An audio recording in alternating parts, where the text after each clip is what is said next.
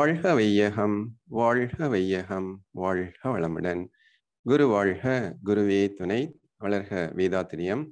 வேதாத்திரியம் தரும் விளக்கம் என்ற தலைப்பில் சிறந்த பல விளக்கங்களை அளிப்பதற்காக மதிப்பிற்கும் மரியாதைக்கும் உரிய பேராசிரியர் அறிவொளிர் நம்பி ஐயா அவர்கள் சென்னையிலிருந்து நம்மோடு இணைந்திருக்கின்றார்கள். சிந்தனை விளக்கம் அளிப்பதற்காக ஐயா அவர்களை அன்போடு அழைக்கின்றோம். சிந்தனைக்கு செல்வதற்கு முன்பு ஐயா அவர்களை பற்றி ஒரு சிறிய அறிமுகம். பேராசிரியர் அறிவொளிர் நம்பி ஐயா அவர்கள் பிஎஸ்சி மேத்ஸ் மற்றும் எம்ஏ தமிழ் படிப்பு முடித்திருக்கின்றார்கள். மேலும் மனவளக்கலை யோகாவில் எம்ஏ படிப்பை முடித்திருக்கின்றார்கள். தொழிற்கல்வியாக diploma in taxation licentiate in insurance institute of India certificate in insurance salesmanship முடித்திருக்கின்றார்கள்.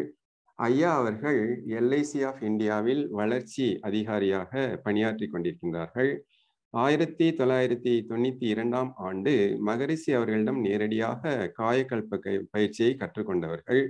மனவளக்கலை மன்றங்கள் மற்றும் அறக்கட்டளைகளில் பிடிசி வகுப்புகள் காயக்கல்ப பயிற்சி மற்றும் விசன் வகுப்புகளை சிறப்பாக நடத்தி வருகின்றார்கள். மேலும் கிட்ஸ் யோகா நீதி கதைகள் சிந்தனை விருந்து சிறப்பு நிகழ்ச்சி தொகுப்பாளர் போன்ற சிறப்பான சேவைகளை கடந்த ஐந்து வருடங்களாக மயிலை மன்றத்தில் செய்து வருகின்றார்கள். அறுநூத்தி இருபத்தி ஏழு நாட்களாக தொடர்ந்து வேதாத்திரிய விளக்கம் இருநூத்தி அறுபத்தி மூன்று நாட்களாக தொடர்ந்து பாரதியின் பாரதங்கள் என மகரிஷியின் பாரதியின் கருத்துக்களை தினம்தோறும் பல்வேறு வாட்ஸ்அப் குழுவில் பகிர்ந்து வருகின்றார்கள். மேலும் ஐயா அவர்கள் தமிழ் ஆர்வலர் பேச்சு கட்டுரை போட்டிகளில் பல பரிசுகள் பெற்றவர்கள்.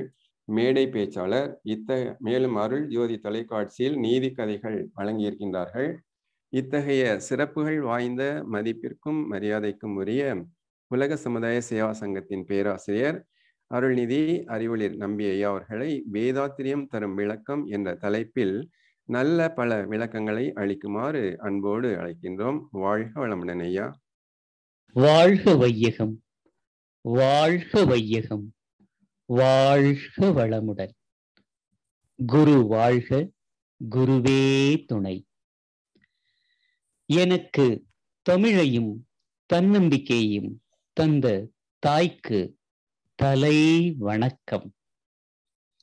உழைப்பையும் ஒழுக்கத்தையும் வாழ்ந்து காட்டிய தந்தைக்கு தனி வணக்கம்.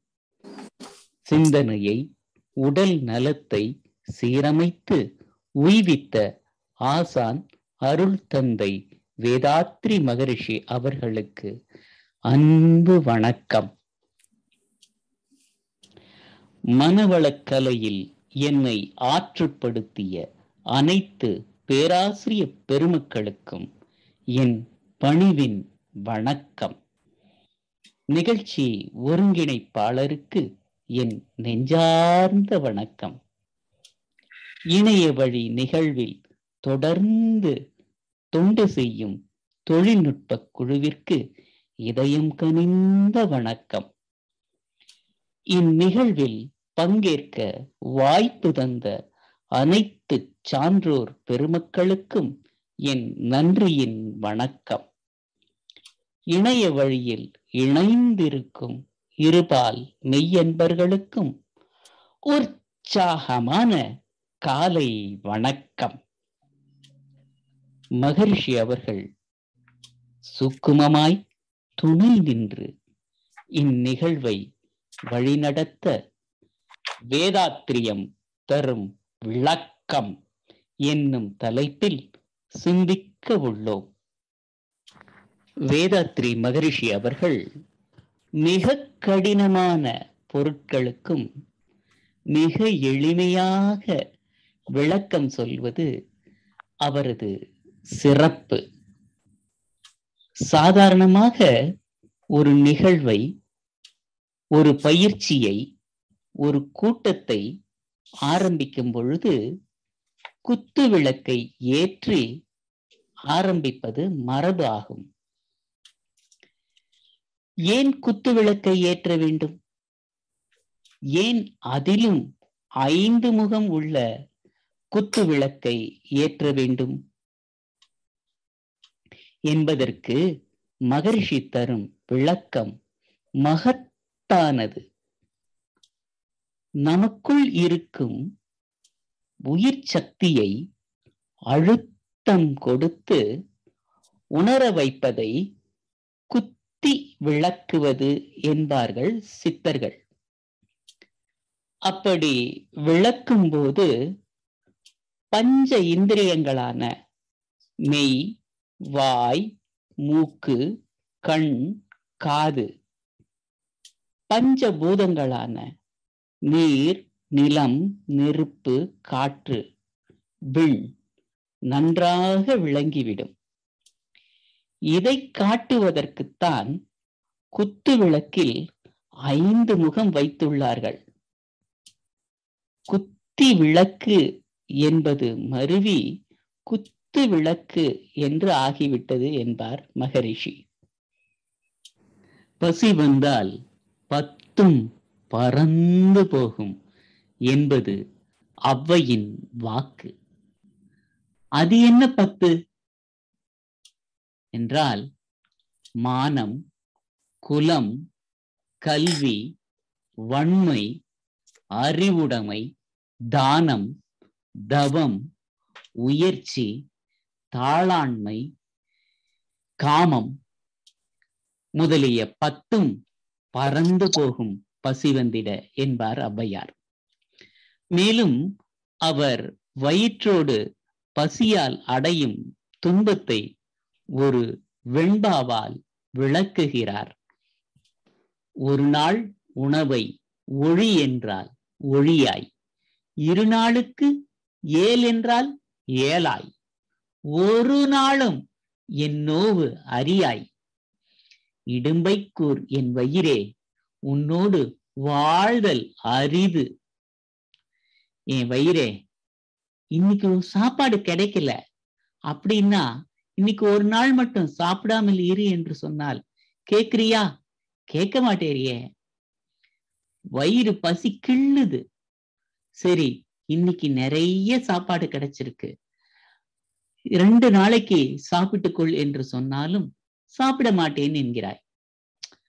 உணவுக்காக பசியால் நான் போராடும் துன்பம் உனக்கு தெரியவில்லை. உடம்பு துன்பம் அதிகமாகிக் கொண்டே இருக்கிறாய்.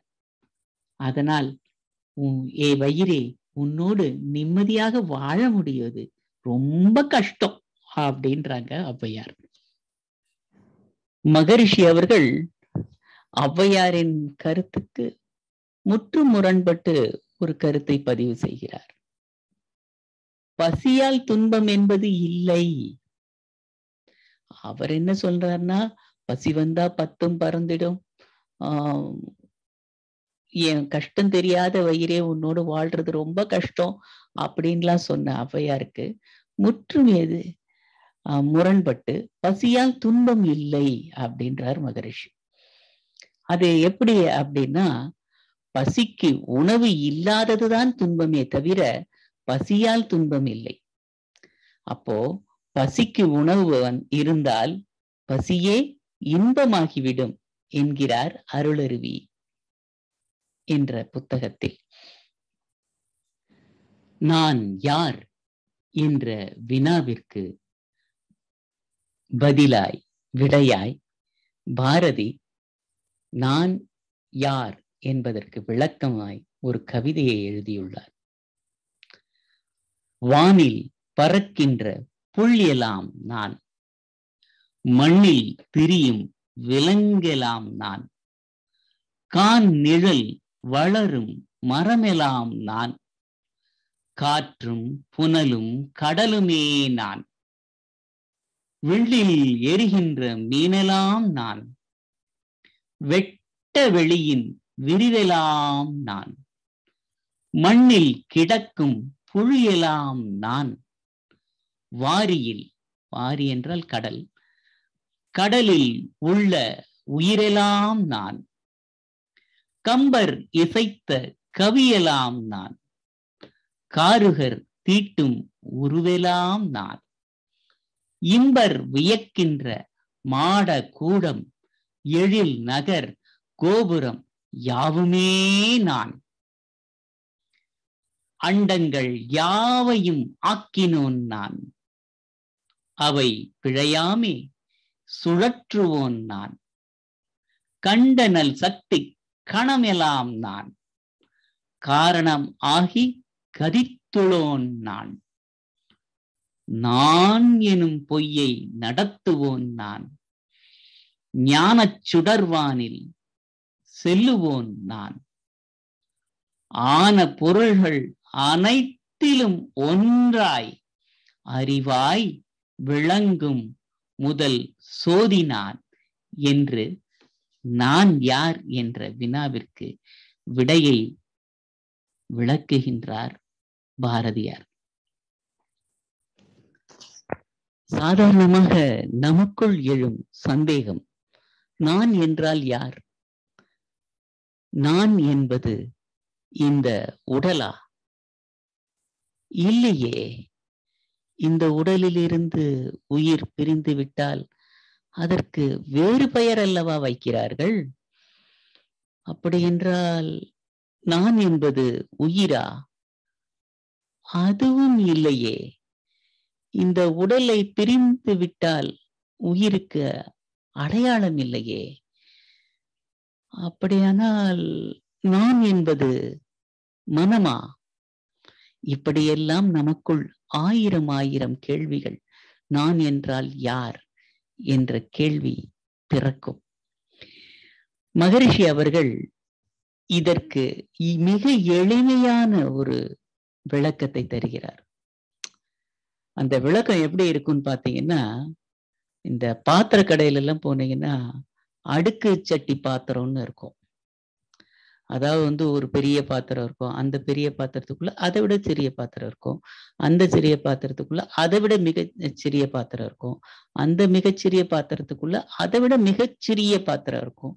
அந்த மிகச்சிறிய பாத்திரத்துக்குள்ள இன்னொரு ஒரு சின்ன பாத்திரம் இருக்கும். இது எல்லாமே ஒரே பாத்திரத்துக்குள்ள அடக்கி அந்த அடுக்கு பாத்திரம்னு வச்சிருப்பாங்க. அந்த மாதிரி நம்ம மகரிஷி அவர்கள் நான் யார் என்பதற்கு ஒன்றிலிருந்து ஒன்று ஒன்றிலிருந்து ஒன்று ஒன்றிலிருந்து ஒன்று என்று மிக எளிமையான ஆற்று நீரோடை போல ஒரு விளக்கத்தை தருகிறார். பார்ப்போமா? இந்த உடல் தோற்றமாக இருக்கிறது. இந்த உடலுக்குள் உயிர் ஆற்றலாக இருக்கிறது. இந்த உடலும் உயிரும் கலந்த உடலில் மனம் உணர்வாக இருக்கிறது. அதாவது உடல் தோற்றமாக இருக்கிறது உயிர் ஆற்றலாக இருக்கிறது. அதில் மனம் உணர்வாக இருக்கின்றது. மனம் என்று ஒன்றும் தனியாக இல்லை. உயிர்தான் மனம் என மறுபெயர் பெற்றிருக்கிறது. சரி. உடல் தோற்றம் உயிர் அதில் ஆற்றல் உயிரே மனமாக இருக்கிறது. சரி இது வரைக்கும் தெளிவாயிடுச்சு. அதுக்கப்புறம் மகரிஷி விளக்குறார். உயிரோ அணுக்களின் கூட்டம். உயிரோ அணுக்களின் கூட்டம். அணுவோ பிரம்மத்தின் இயக்க நிலை. எனவே நான் பிரம்மம் என்கிறார். உயிர் அணுக்களின் கூட்டம். அணுவோ பிரம்மத்தின் இயக்க நிலை. எனவே நான் பிரம்மம். மறுபடியும் ஒரு முறை பார்ப்போமா? உடல் தோற்றமாக இருக்கிறது. உயிர் அதில் ஆற்றலாக இருக்கிறது. மனம் உணர்வாக இருக்கிறது. மனம் என்று ஒன்று தனியாக இல்லை. உயிர்தான் மனம் என மறுபெயர் பெற்றிருக்கிறது. உயிரோ அணுக்களின் கூட்டம். அணுவோ பிரம்மத்தின் இயக்க நிலை. எனவே நான் பிரம்மம். பிரம்மம் என்பது அறிவு சுத்த வெளி மெய்ப்பொருள் தெய்வீகம் முழுமுதற் பொருள் என்று பல பெயர்களில் அழைக்கப்படுவது பிரம்மம். வாழ்க்கை மலர்கள் பக்கம் முன்னூத்தி ஐம்பத்தி ஐந்து. நான் யார் என்ற இந்த கேள்வியை முன்வைக்கும் பழைய திரையிசை ஒன்று. நான் யார் நான் யார் நீ யார்? நாளும் தெரிந்தவர் யார் யார்? தாய் யார் மகன் யார் தெரியார்? தந்தை என்பார் அவர் யார் யார்? நான் யார் நான் யார் நீ யார்? என்ற இந்த கேள்விக்கு மகரிஷி அவர்கள் மிக எளிமையாக ஓரிரு வார்த்தைகளில் கூறுகின்றார். நான் என்பது அறிவு. நான் என்பது அறிவு.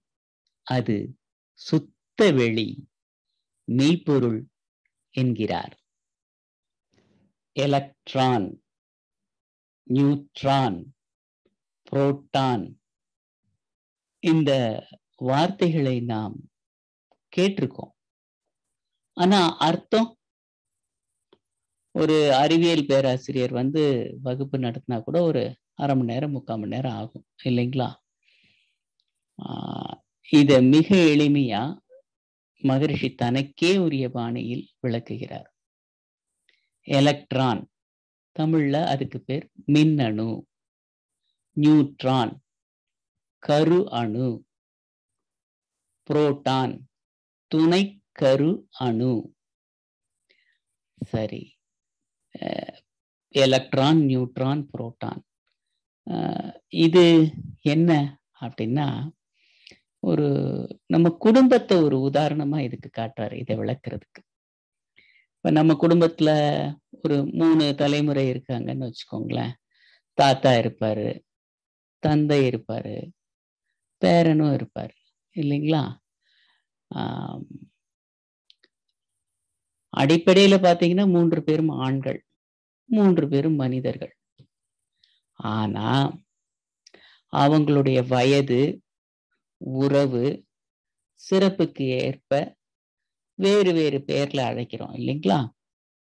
அடிப்படையில பாத்தீங்கன்னா மூணு பேரும் ஆண்கள் மூணு பேரும் மனுஷங்க தான்.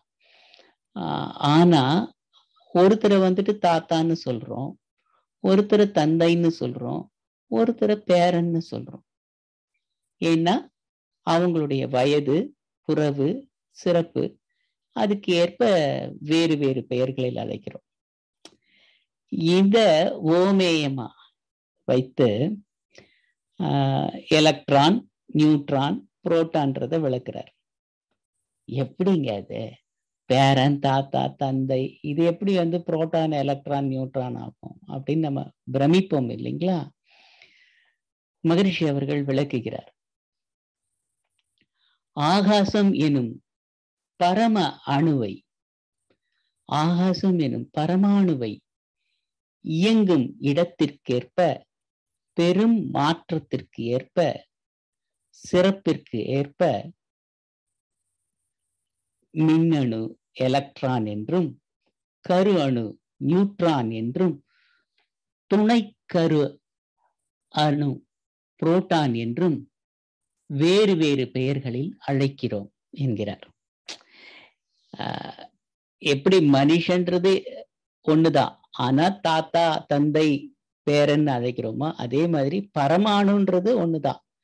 அந்த பரமாணு இடத்திற்கு ஏற்ப பெரும் மாற்றத்திற்கு ஏற்ப சிறப்புக்கு ஏற்ப மின்னணு எலக்ட்ரான் கரு அணு நியூட்ரான் துணை கரு அணு அணு புரோட்டான் என்று வேறு வேறு பெயர்களில் அழைக்கிறோம் என்கிறார். மிக எளிமையான விளக்கம் அல்லவா? மறக்க முடியாத விளக்கம்.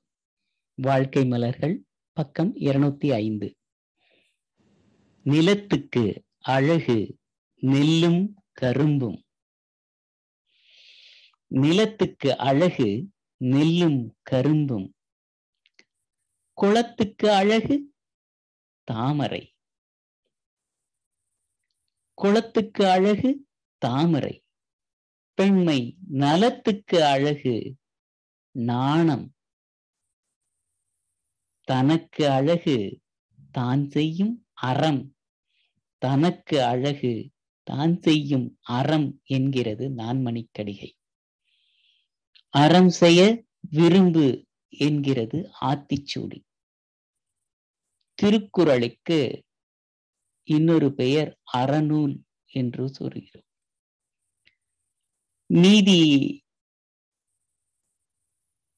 போதிக்கும் நூல்களை நீதி இலக்கியம் அற இலக்கியம் என்று கூறுகின்றோம். திருக்குறள்லயே மூணு பால் முப்பால்னு சொல்லுவோம். அதுல முதல் பால் வந்து பாத்தீங்கன்னா அறத்துப்பால். இல் அறம் துறவு அறம் அப்படின்னு இயல்களே இருக்கு ரெண்டு இயல். உம் அரண் வலியுறுத்தல் அப்படின்னு ஒரு அதிகாரமே இருக்கு. இந்த அறம் அப்படின்றது சின்ன வயசுல இருந்தே நாம அடிக்கடி கேட்டுட்டு இருக்கிற ஒரு வார்த்தை. அறம் என்றால் என்ன?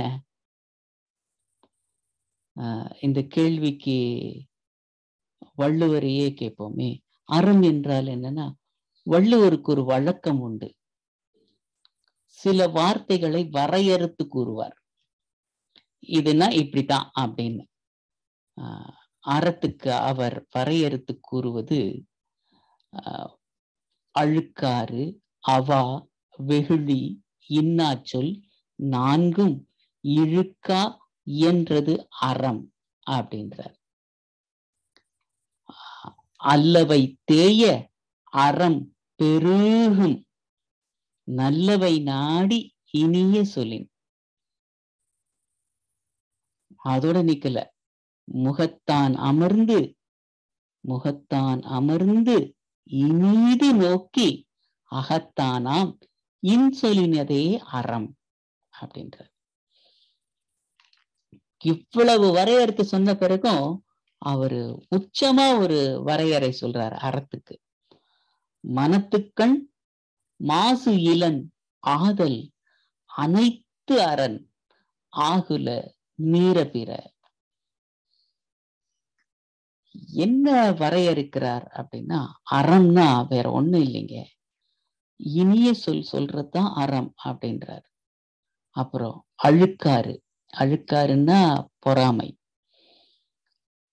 அவா பேராசை வெகுளி சினம். இன்னாச்சொல் கடுஞ்சொல்கள் இந்த நான்கும் இல்லாதது தான் அறம் அப்படின்றார். இதெல்லாம் அப்படி வரிசையா சொல்லிட்டு வரையறுத்து வந்த வள்ளுவர் உச்சமா ஒன்று சொல்லுகிறார். மனத்துக்கண் மாசு இளன் ஆதல் அறம். அனைத்து அறம். அப்படின்ற ஆகுல நீரபுரம் மற்றதெல்லாம் வெறும் வெற்று கூச்சல் தான் உன் மனசுல அழுக்கு இல்லாம சுத்தமா இருந்தன்னா அதுவே மிகப்பெரிய அறம் அப்படின்னு அது என்ன மனசுல அழுக்கு இல்லாம இருக்கிறது அப்படின்னா உம் நாயன்மார்கள்ல ஒரு அறுபத்தி நாலு நாயன்மார்கள்ல சாக்கிய நாயன்மார்னு ஒருத்தர். அவருக்கு என்ன சிறப்புன்னு கேட்டீங்கன்னா பிறப்பால் அவர் வேளாளர் இனத்தை சேர்ந்தவர். அதற்கு பிறகு பௌத்த மதத்தை சார்ந்து அதிலேயே வந்துட்டு கடைசி வரைக்கும் பௌத்த மதத்திலே இருந்தார். ஆனா அந்த பௌத்த மத ஓலைச்சுவடிகளை அறிய அறிய அவருக்கு சிவன் பால் இருந்த அன்பு பெருகி கொண்டே வந்தது. அப்படி பெருகிக்கிட்டே வரப்போ ஒரு முறை வெட்ட வெளியில் ஒரு சிவலிங்கத்தை பார்க்கிறார். சிவலிங்கத்தை பார்த்துட்ட உடனே ஏதாவது செய்யணும் அதை வணங்கணும்னு நினைக்கிறார். ஆனா பக்கத்துல எதுவுமே இல்லை. அப்போ அங்க ஒரு இருந்த ஒரு சிறிய கற்களை எடுத்து அந்த சிவலிங்கத்தின் மேல போடுறார். ஆனா மனம் முழுதும் சிவலிங்கத்தின் மேல அன்போடு இறை மேல ஒரு அன்போடு கனிந்து அந்த கல்லை போடுறார். ஆனா அவருடைய உடை எல்லாமே வந்து பௌத்த குரு அந்த வேடத்துலதான் இருக்கிறார். அதற்காக எதையும் மாற்றிக்கல. ஆனா மனதளவுல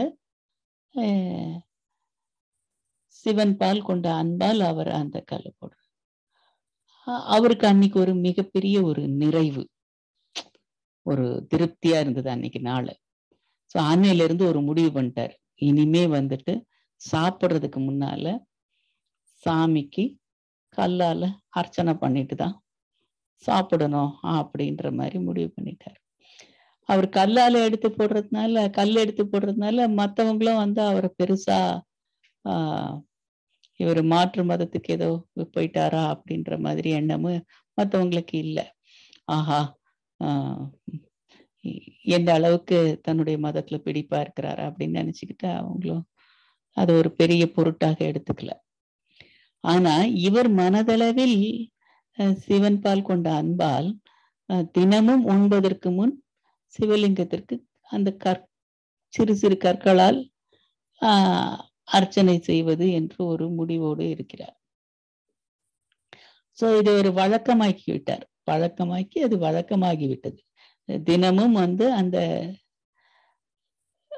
லிங்கத்தின் சிவலிங்கத்தின் மீது சிறு சிறு கற்களை போட்டு விட்டுதான் தான் சாப்பிடுவார்.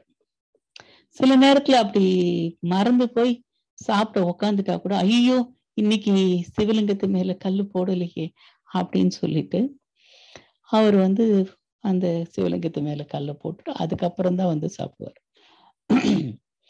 இந்த மாதிரி இறைவால் இறைபால் தான் கொண்ட அன்பை வெளிப்படுத்தியவர் சாக்கிய நாயனார். இவரு சாமி மேல கல்ல போட்டாரு. கல்ல போட்ட இவருக்கு இறை வந்து முக்தி கொடுத்தது. மன்மதன் அதே சிவன் மேல் மலர்கணையை ஏவினான்.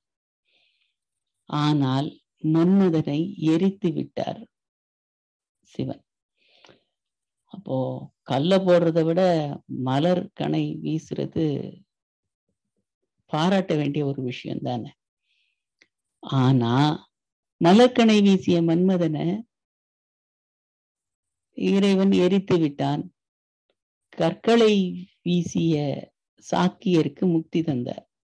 ஏன்னா மனத்துக்கண் மாசு இருந்தது மன்மதனிடம். மனத்துக்கண் மாசு இல்லை சாக்கியரிடம். இப்போ வள்ளுவருடைய வரையறையை பார்க்கலாங்களா? மனத்துக்கண் மாசு இலன் ஆதல் அனைத்து அரண். ஆகுல நீர பிற. அறம் என்பது இன்சொல்லை பேசுவது. அறம் என்பது மனத்துக்கள் மாசு இல்லாமல் இருப்பது குற்றம் இல்லாமல் இருப்பது. அறம் என்பது பொறாமை அழுக்காறு அவா பேராசை சினம் கடுஞ்சொல் இல்லாமல் இருப்பது. இப்படி வரையறுத்த வள்ளுவர் மேலும் ஒரு வரையறை சொல்கின்றார். அறவினை யாதெனின் கொல்லாமை. கோரல் பிறவினை எல்லாம் தரும் அப்படின்ட்டு அறம்னா ஒண்ணு இல்லப்பா. கொல்லாம இருக்கிறது தான் அறம் அப்படின்றார்.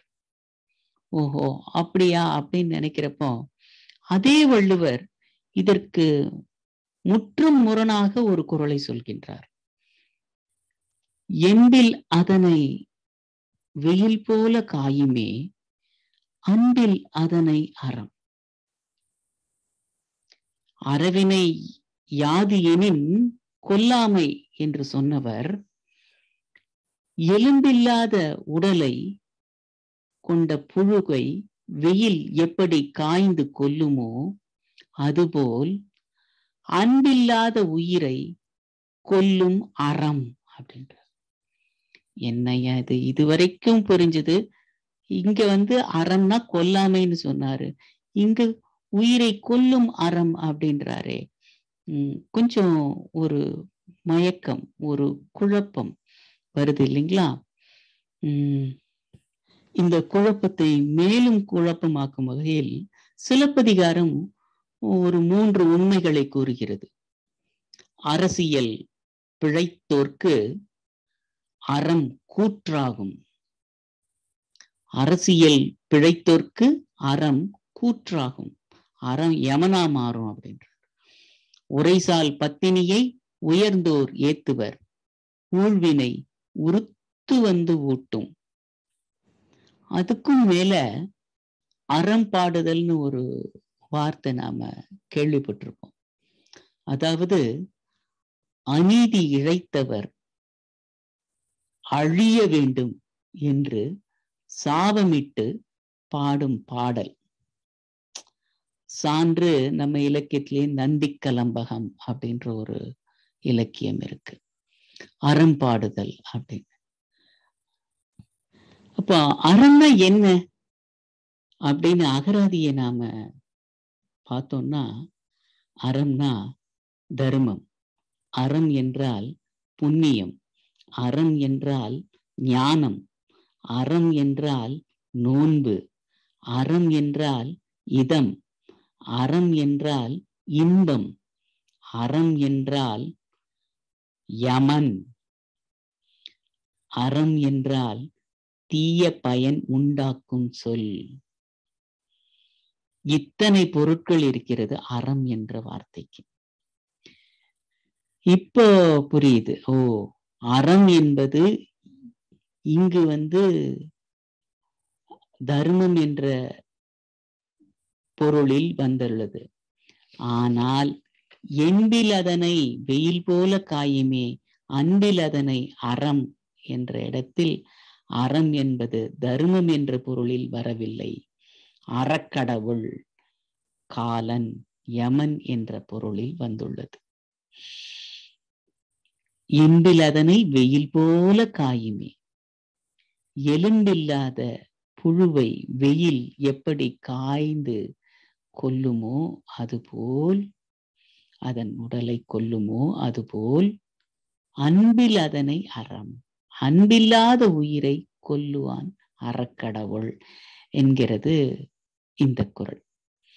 இவ்வளவு காம்ப்ளிகேட்டான ஒரு கடின கடினமான ஒரு வார்த்தைக்கு நம்ம மகரிஷி ரெண்டு வரியில ஒரு எளிமையான விளக்கம் சொல்லிட்டு போறார்.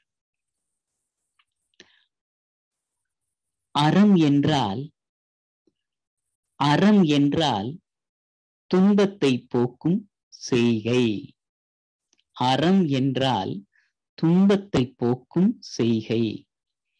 அந்த அறத்தை காக்க ஆட்சி மதம் பொருள் மூன்றாட்சி.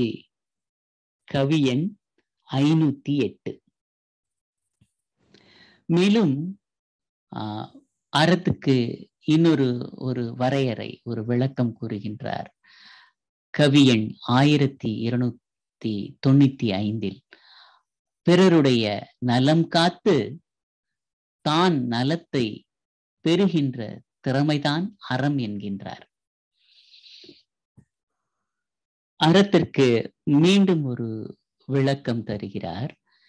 பிற உயிர் படும் துன்பத்தை உணர்ந்து பிற உயிர் படும் துன்பத்தை உணர்ந்து அதை போக்க எழுந்த கருணை உணர்வே அறம் என்கிறார் வாழ்க்கை மலர் பக்கம் இருநூத்தி அறுபத்தி ஆறு. மாக்கோலமாய் விளைந்த மதிவிருந்து என்ற புத்தகத்தில் பக்கம் நாற்பத்தி எட்டில் அறத்திற்கு ஒரு அருமையான எளிமையான விளக்கம் கூறுகின்றார்.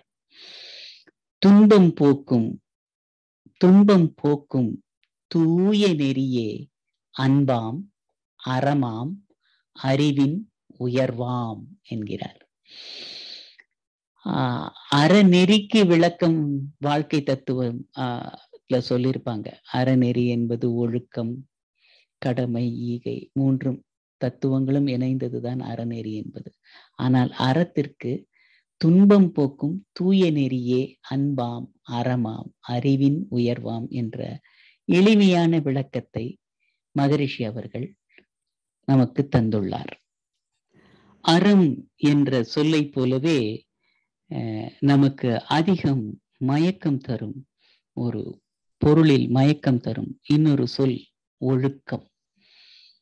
இந்த சொல்ல நாம அடிக்கடி பயன்படுத்தியிருக்கோம் இல்லைங்களா? திருக்குறள்ல கூட ஒழுக்கம் விழுப்பம் தரலான் ஒழுக்கம் உயிரினும் ஓம்பப்படும். உயிரை மேலாக கருதப்படக்கூடியது ஒழுக்கம் அப்படின்றது. ஒழுக்கத்தின் எய்துவர் மேன்மை இழுக்கத்தின் எய்துவர் எய்தா பழி. ஒழுக்கத்தை கடைபிடிப்பவர் மேன்மை அடைவதும் அதை கடைபிடிக்காதவர் பழிக்கு ஆளாவதும் உறுதி என்றும் நன்றிக்கு வித்தாகும் நல்லொழுக்கம் தீயொழுக்கம் என்றும் இடும்பை தரும். நல்ல ஒழுக்கத்தை கடைபிடிப்பவர்க்கு நன்மை உண்டாகும் என்றும் தீய ஒழுக்கத்தை கடைபிடிப்பவர்க்கு எப்பொழுதும் துன்பத்தையே தரும் என்றும் கூறுகின்றார். சரி ஒழுக்கம் கடைபிடிச்சா உயிரை விட எல்லாம் சரி. ஆஹ் அடுத்தது என்ன சொல்றாரு? இழுக்கல் உடையொழி ஊற்றுக்கோல் அற்றே ஒழுக்கம் உடையார் வாய்ச்சொல். உம் வழுக்கு நிலத்துல ஒரு ஊன்றுகோல் எப்படி உதவுமோ அந்த மாதிரி ஒழுக்கமுடையோருடைய வாய்ச்சொல் உதவும். உம் சரி அப்போ ஒழுக்கம்னா என்ன? ஒழுக்கம்னா ஒழுக்கம்தான். அப்படிதான் சொல்ல தோணுது இல்ல? அழுக்காறு உடையான் கண் ஆக்கம் போன்று இல்லை ஒழுக்கமிலான் கண் உயர்வு. அழுக்காருன்னா பொறாமைன்னு ஏற்கனவே பார்த்தோம். பொறாமை இருக்கிறவனிடம் செல்வம் சேராதது போல் ஒழுக்கம் இல்லாதவர் இடம் உயர்வு வராது அப்படின்றார். மகாபாரதத்துல துரியோதனன் அவர் வந்து அஸ்தினாபுரத்தின் அரசர். பாண்டவர்கள் வந்து இந்திரபிரஸ்தம் அப்படின்ற ஒரு நகரை உருவாக்கி அவங்க அந்த நாட்டுக்கு அரசரா இருக்காங்க. துரியோதனன் நினைச்ச மாத்திரத்துல கர்ணனை ஒரு நாட்டுக்கே அரசனாக்கக்கூடிய ஒரு வல்லமை பொருந்திய பேரரசனா தான் இருக்கிறார். ஆனாலும் பாண்டவர்கள் பெற்ற செல்வத்தை பார்த்து பொறுக்க முடியாமல் பொறாமையால் வெந்து கடைசியில் அவன் நாட்டை இழந்து தன் சகோதர சகோதரிகளை சகோதரியை இழந்து அவனே அழிந்து போனான். அழுக்காறு உடையார்கண் ஆக்கம் போன்று இல்லை. ஒழுக்கம் இலான்கண் உயர்வு. எல்லாம் சரி. அப்ப ஒழுக்கம்னா என்ன? மறுபடியும் மகரிஷி அவர்கள் மிக எளிமையான ஒரு விளக்கம். ஒழுக்கம் எனில் உயிர்க்கு இன்னா செய்யா நோன்பாம். ஒருவர் பிறர்க்கோ தனக்கோ உடனோ பின்னோ வழுக்கியும் தீமை செய்யா உணர்வு அஃது. ஞானக்கவி நானூத்தி ஐம்பத்தி ரெண்டு.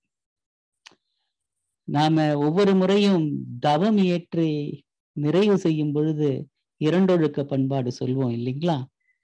நான் எனது வாழ்நாளில் யாருடைய உடலுக்கும் மனதிற்கும் துன்பம் தரமாட்டேன். துன்பப்படுவோர்க்கு என்னால் முடிந்த உதவிகளை செய்வேன். இரண்டு ஒழுக்க பண்பாடு. ஒழுக்கத்துக்கான விளக்கம் இதுதான்.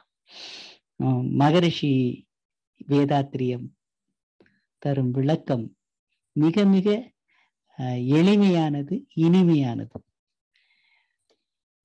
ஒரு முறை ஒரு அரசன் கேட்டானா இந்த உலகத்திலேயே விட பெருசு எது இந்த வையகம் வானகத்தை விட பெருசு எது இந்த பூமியை விட பெருசு எது இந்த கடலை விட பெருசு எது எனக்கு பதில் சொல்லுங்க அதுக்கு கடைசியில ஒரு கிடைத்த பதில் என்னன்னு கேட்டீங்கன்னா செய்யாமல் செய்த உதவிக்கு வையகமும் வானகமும் ஆற்றல் அறிது நாம ஒருத்தருக்கு எந்த உதவியுமே செய்யாதப்போ அவங்க நமக்கு செய்யற உதவி வந்து அதற்கு ஈடா இந்த வையகத்தையும் வானகத்தையும் கொடுத்தா கூட ஆகாது அப்படின்றது. காலத்தினால் செய்த நன்றி சிறிதெனினும் ஞானத்தின் மான பெரிது.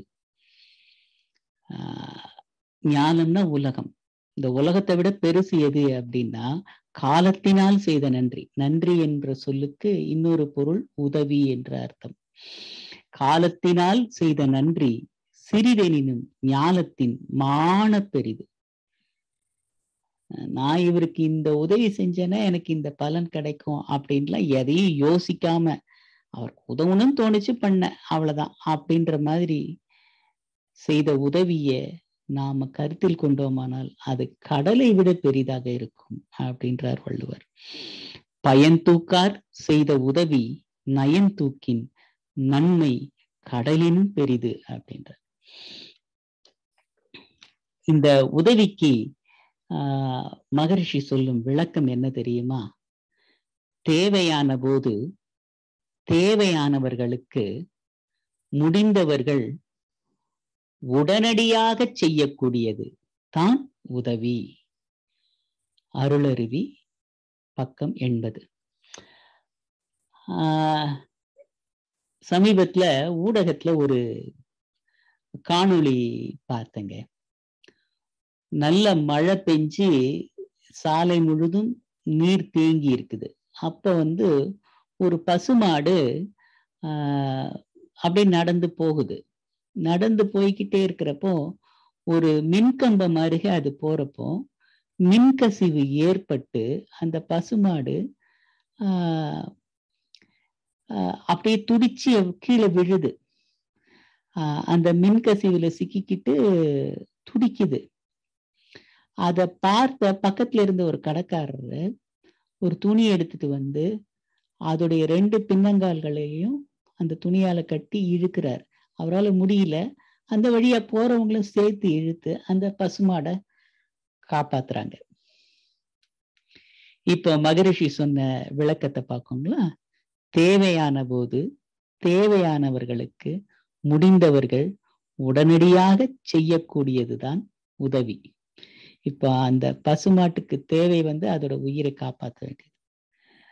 அதை காப்பாற்றக்கூடியவர்கள் பக்கத்துல இருந்தவங்க. அத அது சாகிற வரைக்கும் விடாம உடனடியாக காப்பாத்தி அதை காப்பாத்தின செஞ்சாங்க இல்லையா? அதுதான் உதவி. சரி. இந்த உதவிக்கு உச்சமா ஒரு விளக்கம் கொடுக்கிறார். பேருதவி அப்படின்னு. அது என்னன்னா வாழ்நாள் முழுவதும் மற்றவர்கள் உதவியை தேட வேண்டிய அவசியம் இல்லாத அளவுக்கு உடனடியாக உதவி செய்தால் அது பேருதவி. ஒருத்தர்கிட்ட அந்த உதவி வாங்கின பிறகு திருப்பி வாழ்நாள் ஃபுல்லும் உதவியே கேட்க வேண்டாம்ன்ற அளவுக்கு உதவி செய்யறது தான் பேருதவின்றார் ஒரு சாலை முச்சந்தி அந்த முச்சந்தியில வந்து பாத்தீங்கன்னா ஒரு பிச்சைக்காரர். கிழிந்த அழுக்கான ஆடை. அப்படியே சிக்கு பிடிச்ச தலை. பக்கத்துல ஒரு அழுக்கு பை மூட்டை. ஒரு அலுமினிய தட்டு. அந்த சாலை முச்சந்தியில் அமர்ந்து இருக்க வரவங்க போறவங்கலாம் அவங்களால முடிஞ்சத காசை அந்த தட்டில் போட்டு போறாங்க. அவரும் அது காசு அப்படி வாங்கிட்டே இருக்காரு. ஒரு இளம்பெண் வராங்க. அவங்க வந்து அவங்களும் அவங்களால இயன்றத அந்த தட்டில் போட்டு போறாங்க. அதுக்கு அடுத்து அந்த வழியா ஒரு காவல் அதிகாரி வராரு.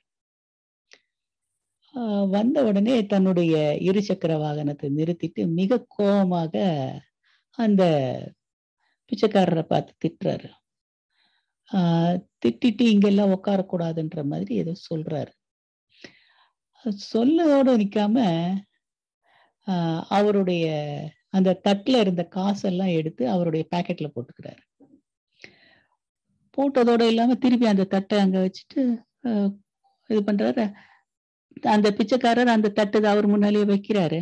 அவரு கோபமா அந்த தட்டை எட்டி உதைக்கிறாரு. அந்த வழியா போன அந்த இளம் பெண் வந்துட்டு ஏன் இந்த மாதிரி எல்லாம் பண்றீங்கன்னா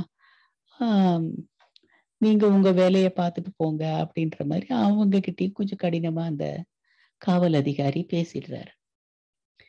பேசிட்டு அவர் பாட்டு கிளம்பி போயிடுறாரு இருசக்கர வாகனத்துல கொஞ்ச நேரம் கழிச்சு அதே காவல் அதிகாரி அந்த பிச்சைக்காரன் கிட்ட வராரு.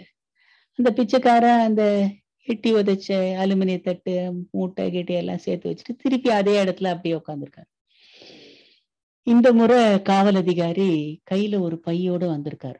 வந்த உடனே அந்த அலுமினிய தட்டை எடுத்து ஓரமா வச்சுட்டு அந்த பைக்குள்ள இருந்து ஒரு எடை பார்க்கும் எந்திரத்தை அவர் முன்னால வைக்கிறார். வச்சுட்டு அது மேலே ஏறி அவர் நிக்கிறார். நின்று எடை பார்த்துட்டு அவருக்கு ஒரு காசு தராரு. இனிமே நீங்க வந்து பிச்சை எல்லாம் எடுக்கக்கூடாது இந்த எடை பார்க்கும் எந்திரத்தை வைத்து கொண்டு அதுல மக்கள் எடை பார்ப்பாங்க நீங்க காசு வாங்கிக்கோங்க அப்படின்னு சொல்லிட்டு அவர்கிட்ட எடுத்துட்டு போன காசுல மீதி காசையும் அவர்கிட்ட கொடுத்துட்டு உணவுப் பொருட்களும் கொடுத்துட்டு அவர் போறார். இப்போ மகரிஷி சொன்ன பேருதவி அதுக்கு விளக்கம் பார்க்கலாங்களா? வாழ்நாள் முழுவதும் மற்றவர்கள் உதவியை தேட வேண்டிய அவசியம் இல்லாத அளவுக்கு உடனடியாக உதவி செய்தால் அதுவே பேருதவி. அந்த பேருதவியை தான் அந்த காவல் அதிகாரி செய்துள்ளார். அத்வைதம். இதற்கு ஒரு அழகான எளிமையான ஒரு விளக்கத்தை மகரிஷி தருகிறார். கடலில் நீர் இருக்கிறது. சூரியன் காயும் பொழுது அந்த கடல் நீர் மேகமாக மேலே போகிறது. கடல் நீர் மேகமாக மேலே வந்துள்ளது. அந்த மேகம் மலைகளோடு மோதி குளிரும் பொழுது மழையாக மீண்டும் விழுகிறது. அந்த மழை பூமியில் விழுந்து ஆறு ஏரி குளம் நீர்நிலைகளை அடைகிறது. பின்பு பூமியில் அப்படியே ஓடி நிலத்தடி நீரில் மாறுகிறது. அதை அந்த நிலத்தடி நீரை தாவரங்கள் தங்கள் வேர்கள் மூலம் உறிஞ்சுகிறது. தென்னை மரம் தன் வேரில் உறிஞ்சி அந்த நீரை இளைநீராய் மாற்றுகிறது. எலுமிச்சை பழம் செடிகள் வேரின் மூலம் உறிஞ்சி எலுமிச்சை சாறாக மாற்றுகிறது. அப்ப இந்த மாதிரி கடல் நீர் இப்பொழுது சாராக மாறியுள்ளது. இல்லையா? ஆனால் எல்லா கடல் நீர் மேகம் மழை ஏரி குளம் நிலத்தடி நீர் தாவரங்களில் உள்ள காய் கனிகள் அதில் உள்ள சாறு இது எல்லாமே வந்து நீர் தான் நீரின் பல நீ வடிவத்தில் காண்கிறோம். ஆனா இதுக்கெல்லாம் மூலம் என்ன? கடல் நீர் தான். இப்படி பரிணாம வளர்ச்சியில் ஏற்படும் மாற்றங்களை எல்லாம் மறந்து விடாமல் மூலத்தை பார்ப்பதுதான் அத்வைதம் அப்படின்றார். வாழ்க்கை மலர்கள் பக்கம் நூத்தி எண்பத்தி மூணு. எப்படி இளநீரில் கடல் நீரை பார்ப்பது போல் எல்லா பரிணாம வளர்ச்சியிலும் ஏற்படும் மாற்றங்களை எல்லாம் மறந்து விடாமல் அதில் மூலத்தை பார்ப்பதுதான் அத்வைதம் என்கிறார் மகரிஷி. துறவு. வீட்டிலிருந்து காட்டுக்கு இடம் மாறுவதா துறவு? இல்லை வேலையை விட்டுவிட்டு ஊதியம் வாங்குவதை விட்டுவிட்டு பிச்சை எடுக்கும் செயல் தான் துறவா? இல்லை சம்சாரியாயிருப்பவர் சந்நியாசி தோற்றம் கொண்டு மாறுவதா துறவு? அப்படிலாம் இல்லைங்க. துறவு என்றால் மகரிஷி கூறும் விளக்கம் அளவு முறை இரண்டையும் கடைபிடிப்பதுதான் துறவு என்கிறார். அது என்ன அளவு முறை? தான் செய்யும் எல்லா செயல்களிலும் அளவு முறை வைத்துக்கொண்டு நிறைவு காண்பதுதான் துறவு என்கிறார். இன்னும் ஒரு படி மேலே போய் உறவிலே கண்ட உண்மை நிலை தெளிவுதான் துறவு என்கிறார்.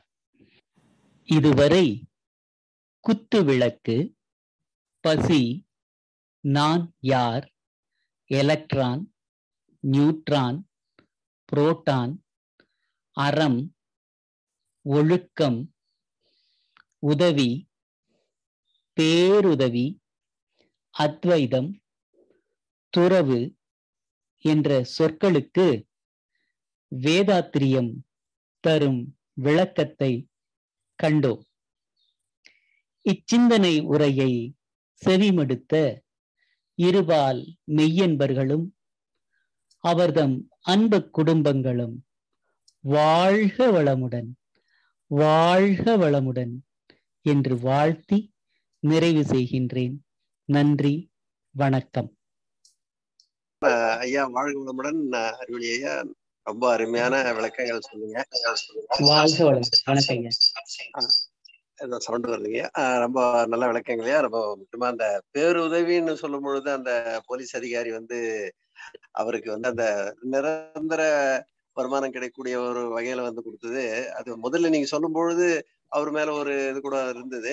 சரி அவர் வந்து போயிட்டு அந்த அம்மா பணத்தை கொண்டு போய் மறுபடியும் அவரு ஒரு வெயிங் மிஷின் வாங்கிட்டு வந்து கொடுத்து அவருக்கு உணவும் கொடுத்தது. உண்மையிலேயே ரொம்ப பேரு அந்த பேருதவி நீங்க சொன்ன உதாரணம் உண்மையிலேயே மறக்க முடியாது. ஒவ்வொரு இதுவும் அப்படிதான் சொன்னீங்க நீங்க.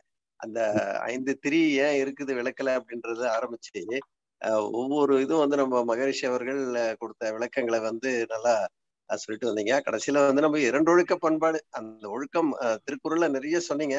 திருக்குறள் மற்றும் பேரு மற்ற நம்ம நம்முடைய இதிகாசங்கள்ல கூட ஒழுக்கம்ன்றது என்னன்றத நாம அத்தனையும் ஃபாலோ பண்ணணும் படிக்கணும்ன்றதை விட நம்முடைய தவம் முடிச்சு நம்ம சொல்லக்கூடிய அந்த இரண்டு ஒழுக்க பண்பாடை நம்ம செம்மையா பண்ணிட்டு வரணுன்றது ரொம்ப சிறப்பா முடிச்சிங்க. ரொம்ப நல்ல விளக்கம் நல்ல ஒரு திங்கக்கிழமை நாள்ல மா அந்த வாரத்தினுடைய காலையிலேயே நல்ல ஒரு அமைதியான முறையில அந்த உங்களுடைய அந்த டோன் ஆஃப் டெலிவரியை வந்து அந்த அப்படியே நீங்க ரொம்ப அத மிதமா இருந்தது. ரொம்ப நல்லா இருந்தது. ஒரு தியானம் தியானம் செய்வது போல இருந்தது. என்னிடம் உள்ள ஒரு கேள்வி நீங்கள் பேராசிரியர் இப்போ நானும் கூட ரொம்ப நாளைக்கு முன்னாடி மனவளக்கலையில இணைந்து மறுபடியும் நீண்ட வருடங்கள் விட்டு விட்டு மறுபடியும் நம்ம ஜாயின் பண்ணியிருக்கோம். இந்த மாதிரி நம்ம வந்து தொடர்ந்து நம்முடைய மனவளக்கலை மன்றத்தில் மகரேஷனுடைய பயிற்சிகளை தொடர்ந்து செய்து வர சம் தடைகள் கூட வருது எனக்கு அது கர்ம வினையே என்னன்றது இல்ல சரி பட் வந்துட்டோம். இனிமேல் விடக்கூடாது. நம்ம தொடர்ந்து செய்து பயிற்சிகளை தினமும் உடற்பயிற்சி காய்கல்பம் தவம் தற்சோதனை உடன் தவறாமல் செய்து வர சில அறிவுரைகளை சொல்றீங்க. ஒண்ணும் இல்லைங்கய்யா உங்களுக்கு அதுல ஒரு விழிப்பு நிலை வந்துருச்சு இல்லைங்களா அதுவே நீங்க சரியான பாதையில தான் போறீங்கன்றதுக்கான உதாரணம். நாம விட்டு விட்டு செய்யறோன்ற அந்த விழிப்பு நிலையே வருது இல்லைங்களா? அதுவே வந்துட்டு நீங்க சரியான பாதையில தான் போறீங்கன்றது. என்னன்னா சொல்லுங்க ஐயா. குடும்பத்துல கூட இப்போ மிஸ்ஸஸும் வந்தாங்க. திரும்ப வந்து கொஞ்சம் கண்டினியூ பண்ண முடியல. மகன் மருமகள் கிட்ட கூட சொல்றோம். பட் நீங்க மற்ற பேரரசர்களும் சொல்றாங்க. அவங்கள வாழ்த்துட்டு வாங்க. கண்டிப்பா வந்துருவாங்கன்றாங்க. அவர்களும் தொடர்ந்து நம்மளுடைய இன்னும் பயிற்சி எடுத்துட்டு கூட கொஞ்சம் விட்டுறாங்க. அது தொடர்ந்து வர்றோம் அதுக்கு வாழ்த்தும். நான் வந்து தவ முடிவுல கூட நம்ம வாழ்த்துறோம். அவங்களெல்லாம் நினைச்சு தான் வாழ்த்துறேன் சொல்லுங்க இல்லைங்க அது மகரிஷியே சொல்லுவாரு. எதையும் வந்து நாம வந்து நிர்பந்தப்படுத்தி செயல்படுத்த முடியாது. இறை அன்பு சொல்லுவாரு. உணர்த்தப்படுவது உள்வாங்கப்படும் திணிக்கப்படுவது துப்பப்படும்வாரு அதனால நாம வந்து அந்தந்த ஒரு சூழல்ல இப்ப வந்து ஒரு காயகல்பம் பண்ணிட்டு இருக்கிறப்போ அவங்களுக்கு கிடைத்த ஒரு ஆரோக்கிய ஒரு உடல் நலம் அது பண்ணாம இருக்கிறப்போ பெறக்கூடிய சங்கடங்கள். அதை வந்து குத்தி காட்டுவதாக சொல்லாமல் சுட்டி காட்டுவதா சொன்னோம்னா இன்னும் கொஞ்சம் புரிஞ்சுப்பாங்க. குத்தி காட்டுவதற்கும் சுட்டி காட்டுவதற்குமான வித்தியாசம் என்னன்னா தவறு செய்த உடனேயே சொல்றப்ப அது குத்தி காட்டுற மாதிரி இருக்கும்.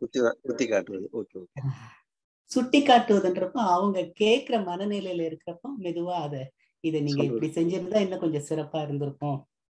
அப்படின்ற மாதிரி சொல்றப்ப அது சுட்டி காட்டுவதாக இருக்கும் அதனால மனதுல வந்து நாம ஆரோக்கியமா இருக்கணும். எவ்வளவு நாள் இருக்கிறோன்றது முக்கியம் இல்லை. எப்படி இருக்கிறோன்றது முக்கியம். நம்மளுடைய உடற்கழிவுகள்ல இன்னொருத்தர் எடுத்து போடுற அளவுக்கு நம்ம வாழ்க்கை மோசமா இருக்கக்கூடாது. அதுக்கு நம்ம வந்து அடிப்படை ஆரோக்கியத்தோட இருக்கணும். அதுக்கு இந்த மகரிஷி வழிகாட்டிய எளிய உடற்பயிற்சியும் காயகல்பமும் காந்த பயிற்சிகளும் அதெல்லாம் தற்சோதனைகளும் தவமும் நிச்சயமா உதவும். அது உணர்ந்து செய்யறப்போ உள்வாங்கப்படும். அவ்வளவுதான் பயிற்சிகளை தொடர்ந்து செய்யுங்க. நீங்க செஞ்ச உங்க பேராசிரியர்கள் கூறின மாதிரி வாழ்த்துவோம். அந்த ஒரு பாசிட்டிவ் வைப்ரேஷன் அவங்களுக்கும் அந்த மாதிரி ஒரு எண்ணம் வரணும். இதை உணர்ந்து செய்யணும் அப்படின்ற மனதார வாழ்த்துவோம். நிச்சயமா நல்லது நடக்கும் ஐயா.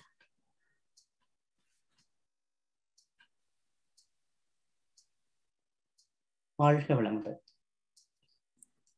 வணக்கம் ஐயா அடுத்ததாக துரைசாமி அவர்களை ஒரு கேள்வி கேட்குமாறு அன்போடு அழைக்கிறோம். துரைசாமி ஐயா வாழ்க வளமுடன்.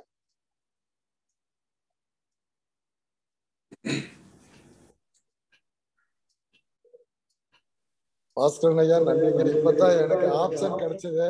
அன்மியூட் பண்ணிருக்கேன். ஐயா நம்பி ஐயா வாழ்க வளமுடன். வாழ்க வளமுடன். நன்றிங்க ஐயா.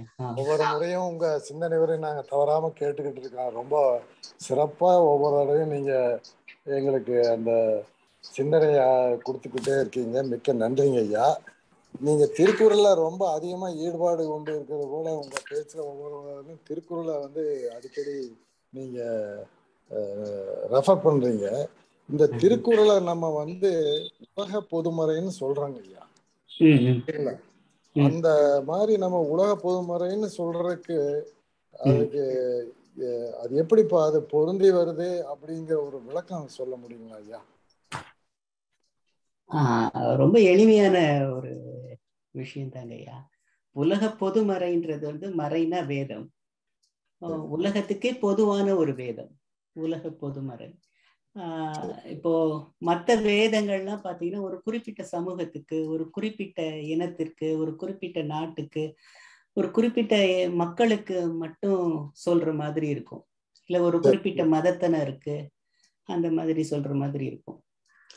ஆனா திருக்குறளை நீங்க வந்துட்டு பாத்தீங்கன்னா அதுல வந்துட்டு ஆஹ் எந்த இடத்துலயும் தமிழ்ல கூட சொல்லியிருக்க மாட்டாங்க. அது உலக பொதுமறைன்னு சொல்றதுக்கு அதுதான் காரணம். எந்த கடவுளையும் இப்ப கடவுள் வாழ்த்துன்னு இருக்கு. அந்த கடவுள் வாழ்த்துல எந்த கடவுளையும் குறிப்பிட்டு சொல்லியிருக்க மாட்டாங்க. ஏன் குணத்தான் தாளை வணங்காதலை அந்த மாதிரி ஒரு ஆஹ் குறிப்பால் சொல்லியிருப்பாரே தவிர குறிப்பிட்டு இந்த கடவுள் அப்படின்னு சொல்லியிருக்க மாட்டார். அதே மாதிரி வந்துட்டு இதுல எந்த ஒரு மொழி சாயலும் இது தமிழர்களுக்கானதுதான் அப்படின்ற மாதிரி இல்லாம இதுல தமிழ்ன்றது வார்த்தை கூட சொல்லியிருக்க மாட்டார். ஆயிரத்தி முன்னூத்தி முப்பது குரல்ல. இந்த ஒரு வார்த்தையை வந்து பாத்தீங்கன்னா இதுல இருக்க சொல்லியிருக்கிற விஷயம் வந்து பாத்தீங்கன்னா எல்லா மக்களுக்கும் பொருந்தக்கூடிய ஒரு விஷயமா இருக்கும். இப்போ உதாரணத்துக்கு பாத்தீங்கன்னா மருந்துன்னு ஒரு அதிகாரம். அதுல வந்து மருந்தென வேண்டாவாம் யாக்கைக்கு அருந்தியது அற்றது போற்றி உணின் அப்படின்னு சொல்லியிருப்பாரு. இது வந்து கிட்டத்தட்ட ஒரு ரெண்டாயிரம் ரெண்டாயிரத்தி ஐநூறு ஆண்டுகளுக்கு முன்னால சொன்ன ஒரு வாசகம்.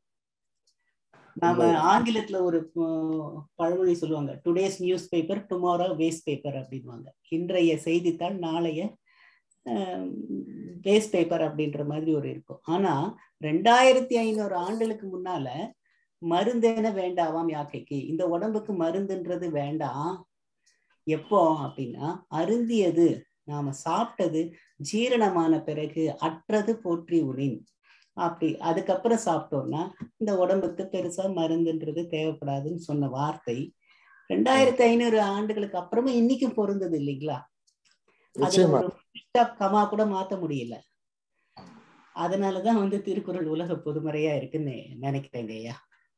ரொம்ப அருமையான விளக்கங்க ஐயா. நன்றிங்க ஐயா. வாழ்க வளமுடன்.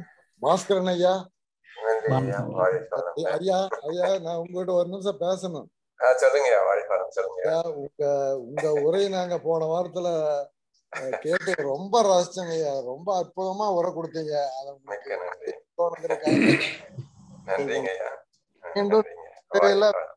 மீண்டும் விரைவில் நீங்க வந்து இன்னொரு சிந்தனை விருந்து கொடுக்கணுங்க ஐயா. வாழ்க கண்டிப்பா வளம் கண்டிப்பா. நன்றிங்க நன்றிங்க. அடுத்தபடியாக திரு சபரீஷ் சுந்தர வடிவேலு ஐயா அவர்களை அஹ், அன்போடு அழைக்கின்றோம். கேள்வி கேட்க வாழ்க வளம். பாஸ்கரன் ஐயா வாழ்க வளமுடன் ஐயா. நன்றிங்க வாழ்க வளம் சொல்லுங்க. ஐயா நம்பி ஐயா வாழ்க வளமுடன் ஐயா. ரொம்ப அருமையா இருந்தது ஐயா. ஐயா ஆக்சுவலி இப்ப அவர் பேசிட்டு இருந்த மாதிரி அந்த ஒரு ஒரு பாடல் கூட இருக்குல்லங்க ஐயா. வள்ளுவனை தன் உலகினுக்கே தந்த வான்புகழ் கொண்ட தமிழ்நாடு. அதாவது எப்படின்னா அதாவது வள்ளுவனை தமிழ்நாட்டுக்கு மட்டும் இல்ல உலகனுக்கே அர்ப்பணி அந்த ஒரு அந்த பரந்த மனப்பான்மை வந்து அது எப்படி ஏன்னா இப்போ சில இப்ப சில தப்பா சொல்ல முடியல பட் சில இப்போ சைனீஸ் பீப்புள் அவங்க எல்லாம் கேட்டோம்னா நம்ம இடம் கேட்டா கூட அவங்க தத்தாவும் போயிடுவாங்க. அவ்வளவு சீக்கிரம் எதுவும் சொல்ல மாட்டாங்க. சில பேர். அந்த மத்தவங்களுக்கு பகிரணுங்கிற அந்த அந்த கலாச்சாரம் அந்த ஒரு இது அன்பு இருக்கு. அந்த குறுகிய மனப்பான்மை இல்லாத ஒரு இது இருக்கு. அது வந்து அது எப்படி ஐயா இது? அது அந்த நல்லதா அது நல்லதுதான் உலக மக்களுக்கு பயனுள்ளதா இருக்கு. ஆனா அதனால இப்போ நம்ம நாட்டு மேலேயே சில பிரச்சனைகள்லாம் வருதுல்ல? அதை பத்தி நான் கேட்டேன் ஐயா. கேள்வி இன்னும் கொஞ்சம் தெளிவா சொன்னீங்கன்னா. இல்லையா? அந்த குறுகிய மனம் குறுகிய மனப்பான்மை இல்லாம அந்த அந்த இந்த நம்ம அதாவது வள்ளுவனே உலகனுக்கே தந்த தமிழ்நாடுன்னா ஸ்பெசிபிக்கா இல்லாம எல்லாரும் பயன்பெறும் தானே கொடுத்திருக்காங்க.